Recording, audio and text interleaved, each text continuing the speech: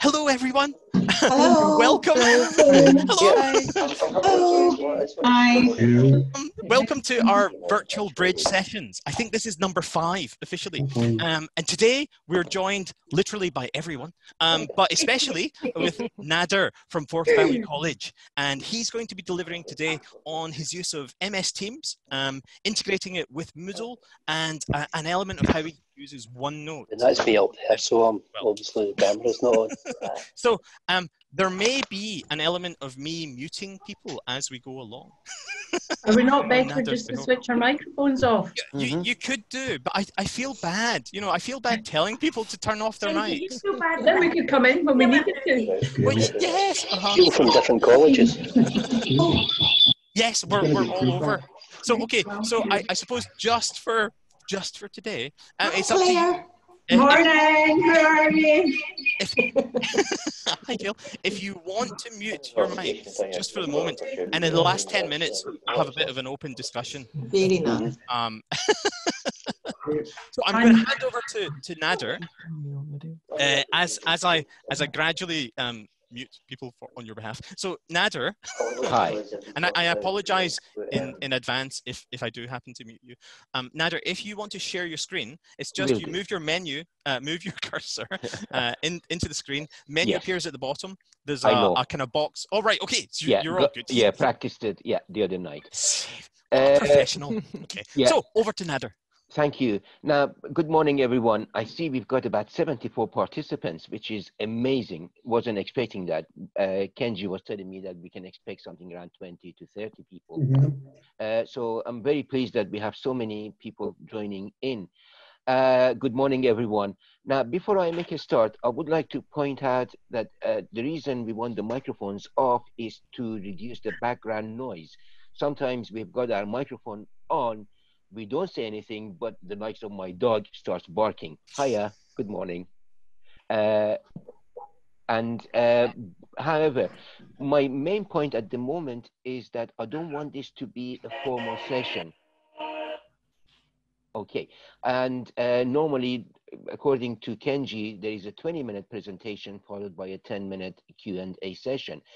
But that to me would be a bit of a boring session. So what I like to do is I will do my presentation. I will ask everyone to have their mics off for now.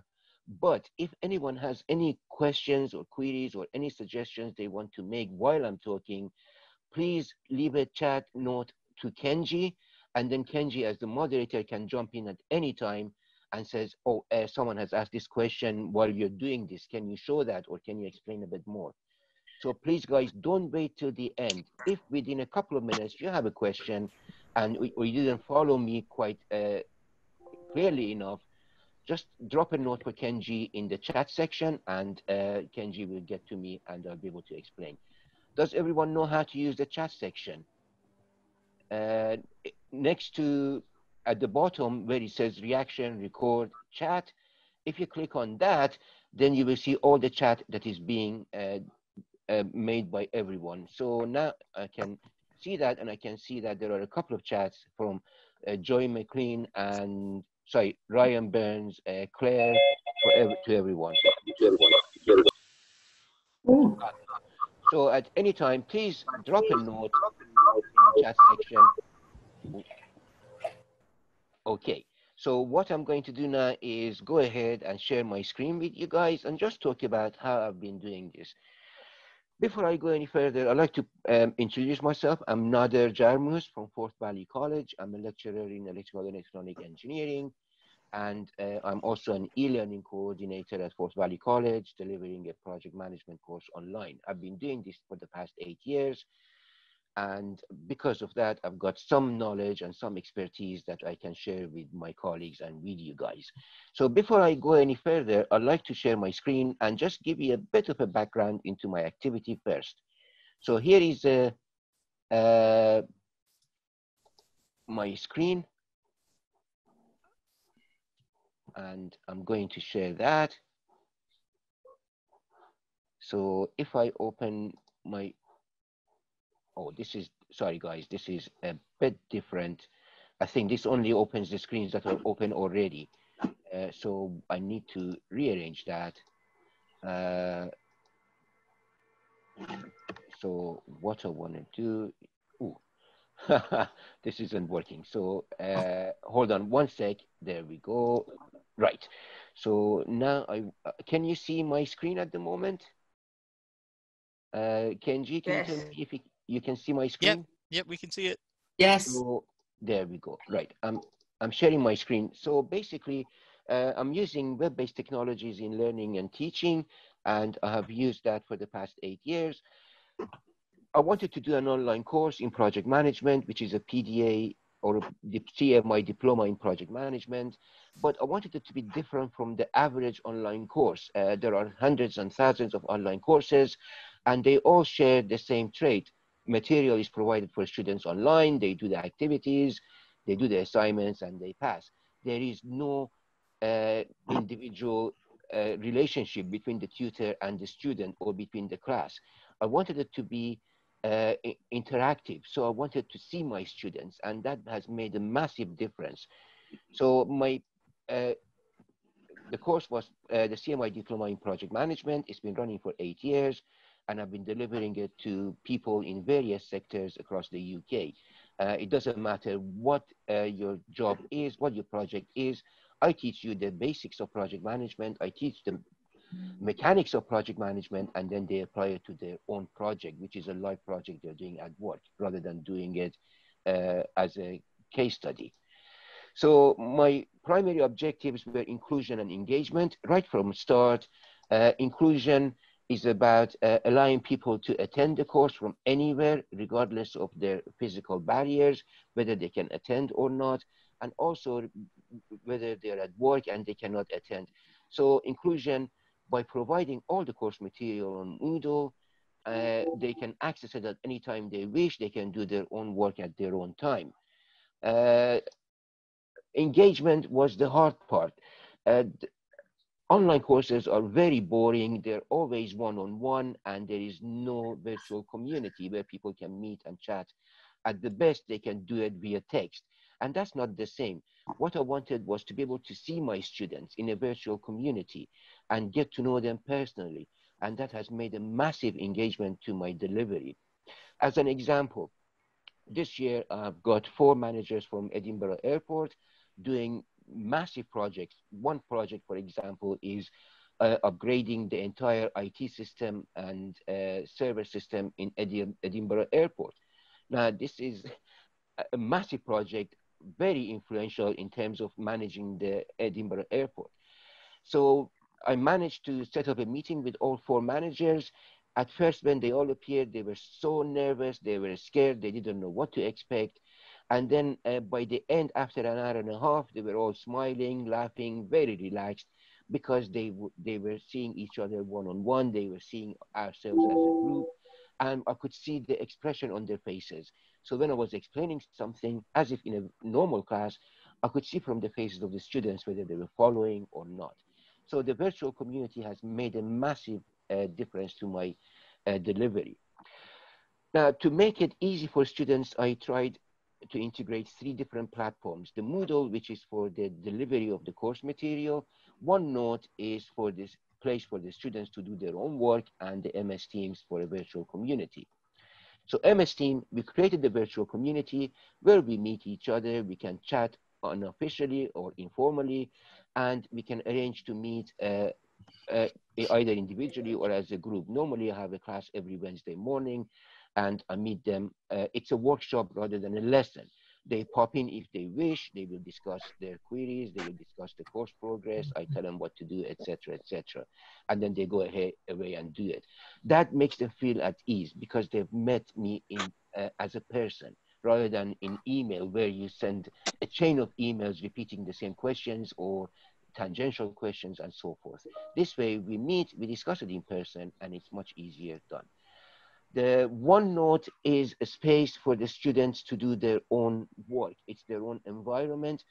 Again, I provide all the material for them. Uh, but unlike Moodle, OneNote is infographic. They don't have to go through the course uh, sequentially like they do in OneNote, uh, activity after activity after act- activity in OneNote, they have access to all the material in one go. So they can jump between the different sections and they can access the material much easier. I will demonstrate in a moment. Moodle is the official uh, platform for the delivery, delivery of the course.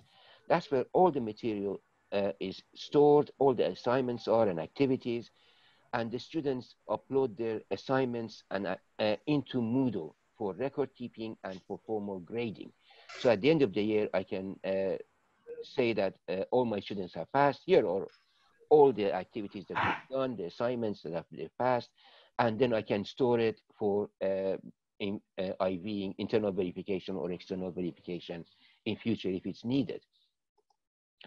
Now, uh, the outcome for this has been a fantastic projects done by students. Uh, in previous years, we had students doing uh, offshore generation, onshore distribution, a lot of different organizations doing these courses for life projects. And, uh, but the best part of it has been the learning curve that I had to go through. I had to learn how to use these platforms and share it with my students. And because I've got this expertise now, I've been able to share it with my colleagues at Forth Valley College and indeed the wider community with you guys. And this uh, has been an exceptional experience for me, teaching me how to do online delivery. And I've also learned uh, uh, what the mistakes are, what the drawbacks are, and what is the best practice, which I've been sharing with colleagues as it is anyway. So that's the end of my presentation on that. Now, what I want to do is just go through uh, Teams, OneNote, and uh, Moodle. Can you still see my screen? I've changed Yes, screen. uh-huh, we can see it. Thank you very much. Yep. Thanks, Rachel, for the thumbs up. Uh, Graham, good to see you relaxed and chilled as well. Uh, only problem, William, sorry, Graham, is that we cannot see your ponytail. It's being wasted at the moment. Turn round so I can see it's still there. No? I've had a haircut. It's Oh, no. Oh, no. Oh, you're one of us then. Anyway, so I'm going to demonstrate how I've achieved this. Again, please at any time come in and ask a question via the chat. So my PDA project management, the front page, which is the post, you can see the posts I've put in, any uh, meetings that we've had, etc. And then I've got my class OneNote. Now this is a OneNote notebook. I have uh, a lot. I have provided all the information and the material here for the students, and my students can see uh, all the notes. They will also have their own space, uh, which I'll come back to. Before I go through this, I would like to go through my Moodle page. So what I've done now, I've actually integrated Moodle into OneNote, not into OneNote, into MS Team. So everything is there for them that they want, and it's also easier for me. So now I'm talking to, imagine you're my students, I'm explaining to you what the course is about, what the first topic is. So for example, the first topic is the project rationale. They can go into the folder, they can study the material, carry out the task as required, and then they submit their assignment. Here I can go into the assignment and uh, directly grade them without having to go out and back into Moodle. So it gives me a lot of uh, accessibility, the same for my students.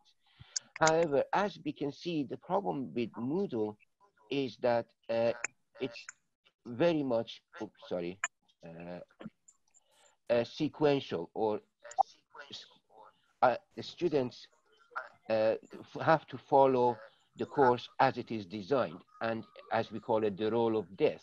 So they do the rationale, goals and objectives, move on at, at their own pace and so on. So it is very much uh, symmetric. However, if I go back to my class notebook, now here I've done exactly the same as my Moodle. I haven't created anything new. What I have done is I've taken my documents and I've uploaded them into OneNote, exactly the same documents, but here the students have access to the material uh, in one page. So again, if I go to Project Rationale, which was the first outcome, they've got access to the study notes, they've got access to the activities and so forth, and they've also got access to uh, webinars which are provided by other professionals. In this instant, uh, projectmanager.com, which is a professional community, and they have massive resources. So rather than re-recording the lesson, I use uh, the lessons that are provided on YouTube by this company. I've contacted them and they're happy for me to use their teaching material anyway. So they've given me permission. But even if they, if I hadn't bothered, I would still be able to upload the material into Moodle and, or sorry, into SharePoint, no, no, OneNote, third time lucky, and demonstrate it. I don't have to worry about copyright issues or infringement because all I'm providing is the link to YouTube. I'm not copying their material. I'm just providing a signpost. My students here also have access to their own web page and each one has their own space where they can uh, upload their material, they can do their logs, they can do their work, uh, and then at the end, they will submit. So here I can look at their activity, give them uh, pointers what to do.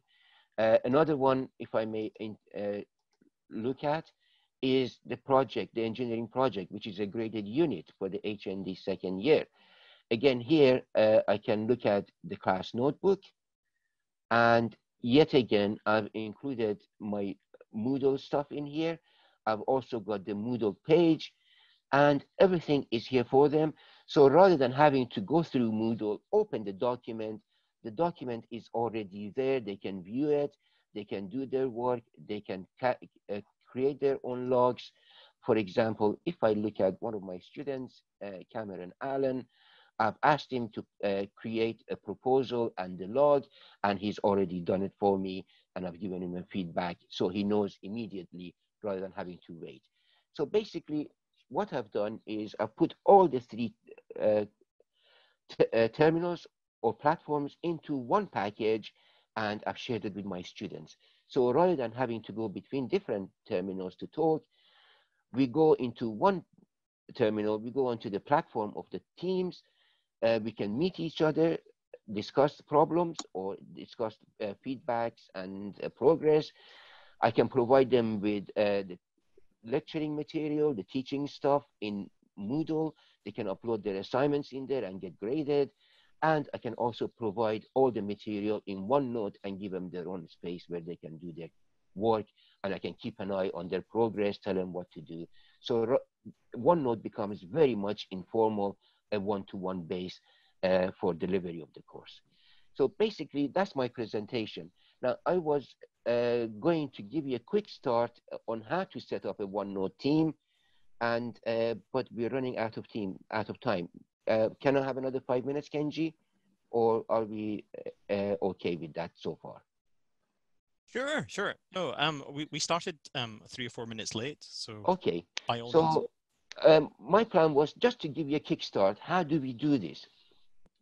Uh, if you go to Office 365, uh, you download the Teams app, and then you get, uh, you open it up, and you get something like this. I have a lot of teams. You will probably have no team, or maybe one or two. So let's say I want to create a team for my project group. So uh, first of all, I always uh, my colleagues when I'm teaching them how to do this to create a team just for themselves. Maybe invite one or two colleagues to join in. I've created one which I call trial. This is where I do all my learning. Before I upload material onto my formal teams, I go in here, I try out uh, how I would do it, uh, do my messing around, learn how to use the team itself. When I'm happy with the feature, then I go to my team and uh, install it there or upload it there. So uh, we go to the teams, we've got a set of buttons uh, on the left-hand side. Activity tells us what's been happening in the teams in general. So I can see all my activities, what's happening. I can either look at general feed or my own activities, which I've been taking part in. Now, I'm aware that because I'm sharing screen, it takes a bit longer than normal, so I need to do it slowly. Chat is where we meet individuals. So if I want to have a private chat with one of my colleagues or a couple of my colleagues, I can talk to them directly one-on-one -on -one, rather than in the front page where everyone can see. Teams gives me the list of all the teams that I'm involved in. Assignments, uh, I can look at the assignments that my uh, students have submitted or the ones that I'm preparing. Calendar. Now, the beauty of the team is that it's integrated with Office 365. So my Outlook calendar is imported into Teams. I don't have to create a separate one. Looking at my calendar, I can see exactly what my uh, uh, meetings are, when I've got one, and I can set up a meeting. So let's say I want to set up a meeting for Thursday at uh, 10 o'clock. I can click on that and then add the title, add the people that I want, uh, make it repeat, add the channel. I don't want it to appear for everyone. I want only certain students to see that who are, for example, engaged in project management. Then I will set it up in that team only. So no one else can come in except the students from my team. Calls, I can make direct calls uh, to the colleagues that I've got. Files are where I've stored all my documents. Uh, and then we've got the three dots or the ellipses. I can add uh, apps directly in here. For example, if I want to bring in a OneNote, I can do that. Or indeed, Zoom. Uh, I can add Zoom to my office, which I've already, to my team, which I've already done. And now if I want to meet anyone external, I can use Zoom or even indeed directly in, internal with my students. So I can add extra tabs if I wish. Now, if I go back to my teams, so these are the uh, basic tools. Now I want to create a team. So I click on that and then I will create a team. I can also join a team. If I've got external people that have invited me, they will send me the link and the code, then I can join their team directly if it's allowed by organization. So I'm going to create a team.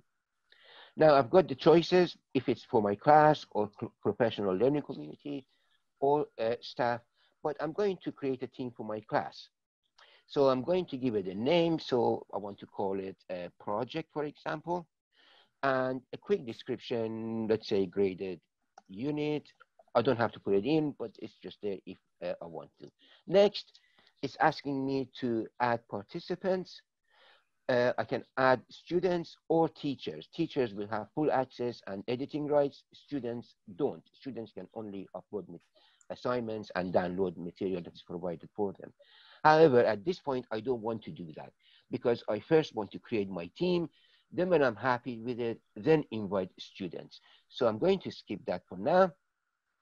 When I've set up my team and I'm happy, then I will go to the three dots in here, and then I can add members uh, at my uh, leisure. Uh, so I'm going to the, do that now. So upload class material. Now I can set up the kind of a team that I want. So I can upload all my class material here simply by going to upload and I can upload from my uh, drive or from uh, cloud or anywhere I've got, or I can create new documents. I can create a folder. For example, what I do is if I have got three outcomes, I would create three different folders, one for each outcome. I can also create uh, Word, Excel, or PowerPoint presentations where students can download and uh, take part with that. So I've uploaded my material. Then my class notebook. Now, uh, the best way is to in, uh, set up a OneNote class notebook. I can use an existing note one or blank notebook, which is the better one. So I've got these facilities here. I'm not going to go through them. Uh, they take too long.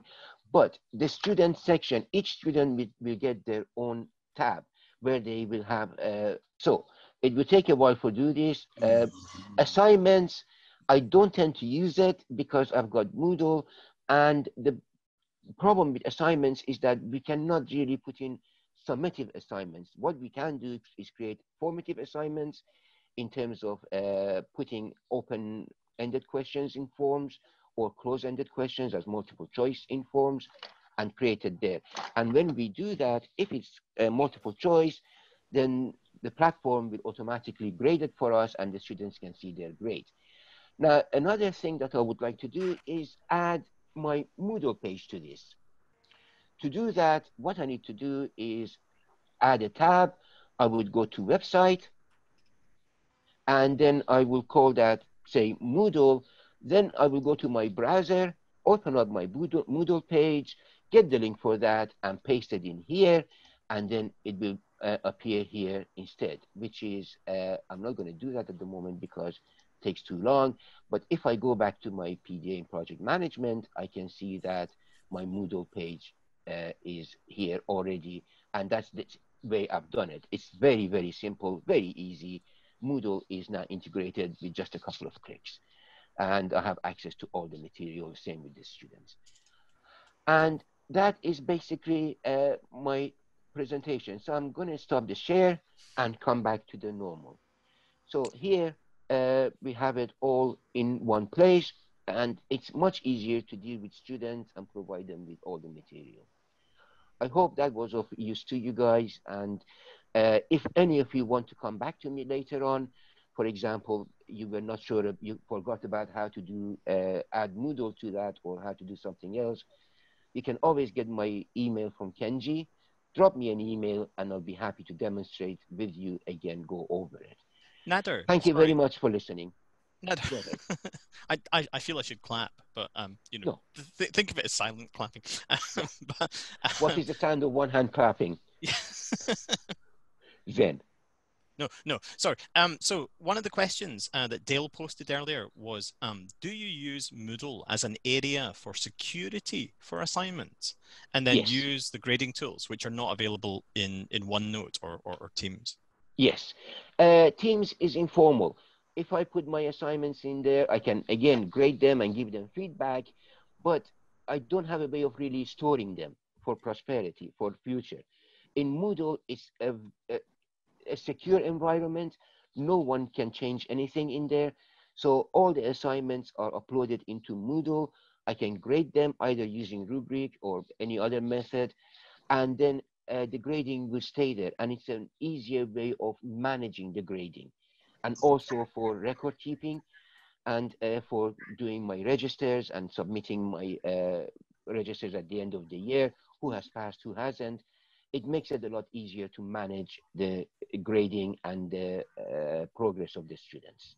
Okay, and, and I oh, I just just Sorry. before I finish, and also at the end of the year, I can uh, store all the submissions and all the grades into a separate area. So when I start next year with a new group of students, I still have uh, the record of the previous year's students if there is a query and we need to get back to it. Right. Um, I, I know that within some schools who use Teams, um, it is possible to set up a team as a classroom, and you do Yes. get access to assignments and, and to grading and to marking rubrics. And I know that in, in other institutions, you can you can link Turnitin into Teams, and some people do the assignments via Turnitin uh, Yes. and, and submit that, and you can use that as a collective. So are, Yes. are you?